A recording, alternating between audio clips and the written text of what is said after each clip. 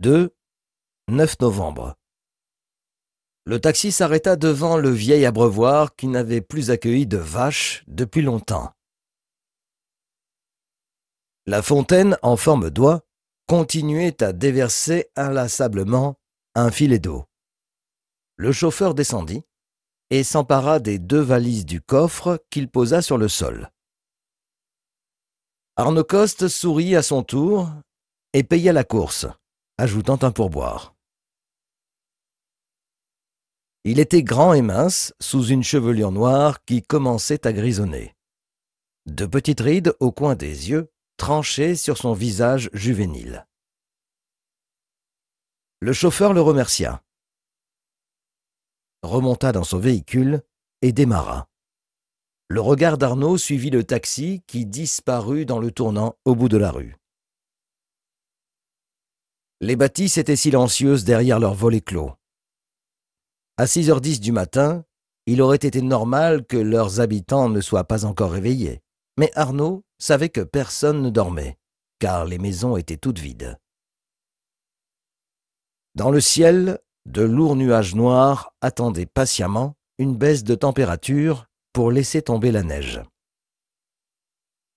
L'hiver n'arriverait que dans un mois, et pourtant les flocons se faisaient pressants. Arnaud étira ses muscles endoloris par la nuit passée dans le train. Douze heures pour quitter Paris et rejoindre Réna. 200 habitants l'été, moins de 40 actuellement. La moyenne d'âge avoisinait les 60 ans. Le village était perdu, en plein cœur des Pyrénées, au milieu d'un cirque creusé par un ancien glacier. Face à lui, la route s'arrêtait après la dernière maison, laissant place à un chemin forestier qui menait à l'étang Blaou.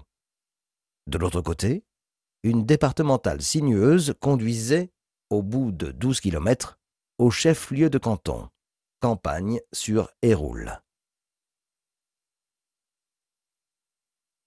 Arnaud souleva ses deux valises et avança, à pas lents, dans la rue principale.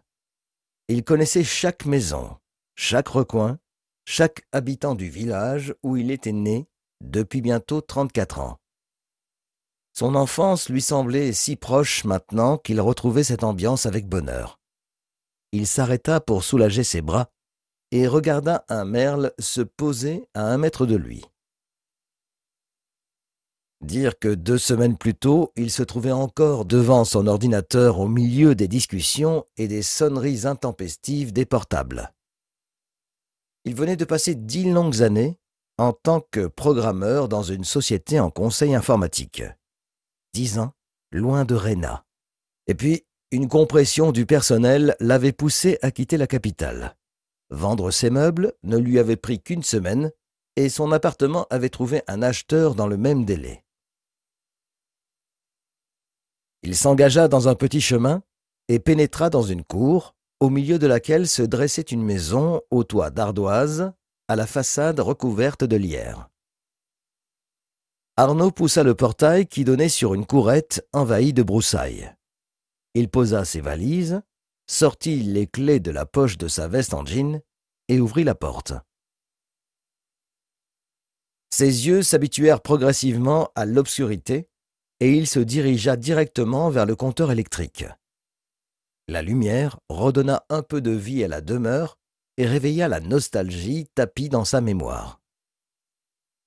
Il poussa les volets de la salle à manger pour chasser l'odeur de renfermé, passa dans la cuisine, puis monta l'escalier pour aérer les deux chambres. La maison n'avait rien de luxueux, mais elle lui appartenait. C'était même le seul bien qu'il possédait.